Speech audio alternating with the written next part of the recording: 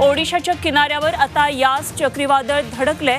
सकाळी नऊच्या सुमारास भद्रकमध्ये चक्रीवादळ धडकलं आणि समुद्रात उंचच उंच लाटा उसळत आहेत जोरदार वाऱ्यासह सध्या पाऊस देखील पडतोय.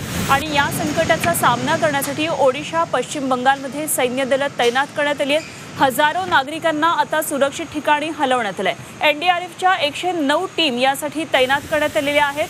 ओडिशा पश्चिम बंगाल झारखंड छत्तीसगड बिहारसह आठ राज्यांना यास चक्रीवादळाचा हा परिणाम जाणवण्याची शक्यता आहे. ओडिशामध्ये यास आता धडकलेला आहे आणि त्याचे परिणाम दिसू लागलेले आहेत. त्यापूर्वीच पश्चिम बंगालमध्ये मुसळधार पाऊस झालेला आहे. अनेक घरांचं नुकसान झाल्याचं कळत आहे. या संकटाचा सामना करण्यासाठी सध्या सैन्यदल सज्ज आहे. विविध ठिकाणी सैन्यदलाच्या तुकड्या तैनात करण्यात आल्यात. एन डी आर एफच्याही एकशे नऊ टीम सध्या तैनात आहेत.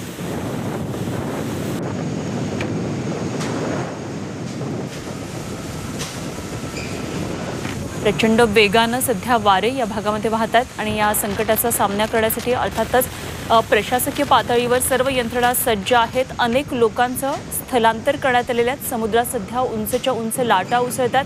त्यामुळे किनारपट्टीमधल्या गावांचं स्थलांतर करण्यात आलेलं आहे. याच चक्रीवादळाच्या या सगळ्या घडामोडींकडे आपलंही लक्ष आहे. ओडिशामध्ये सध्या याच चक्रीवादळ आहे. भद्रकमध्ये चक्रीवादळ धडकले आणि ही थेट दृश्य आहेत पश्चिम बंगालमधून मिदनापूर इथली. खवळलेल्या समुद्राची ही दृश्य मिदनापूरमधली पाहायला मिळतात. किनारपट्टी भागाला वादळांचा चांगलाच तडाखा बसलेला आहे. पश्चिम बंगालमध्ये प्रशासकीय यंत्रणा पूर्णपणे तयारी झालेली आहे आणि ममता बॅनर्जी यांनी या सगळ्याची पाहणी देखील केलेली आहे. या तडाखा हा पश्चिम बंगालला मोठ्या प्रमाणात बसलाय. वादळापूर्वीच तुफानी पाऊस देखील या भागामध्ये झाला. आणि ही दोन दृश्य मिदनापूर पश्चिम बंगालमधली आणि दुसरी दृश्य आहेत ती ओडिशामधली. अत्यंत तुफानी असा हा पाऊस सध्या या ठिकाणी कोसळतोय. याच चक्रीवादळाचा हा परिणाम आहे. यास आता ओडिशात धडकले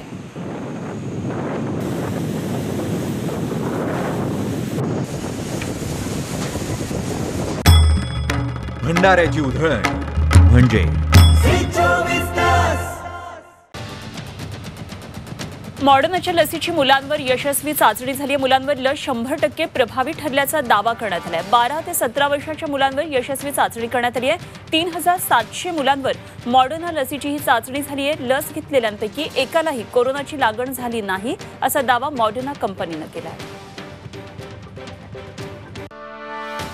कोवॅक्सिन लसीला अमेरिकेतही आपत्कालीन मान्यता मिळण्याची शक्यता आहे आणि त्यासाठी जागतिक आरोग्य संघटनेनं अधिक माहिती मागवली आहे. अमेरिकेतही या लसीला आपत्कालीन परवानगी मिळवण्यासाठी प्रयत्न सुरू आहेत.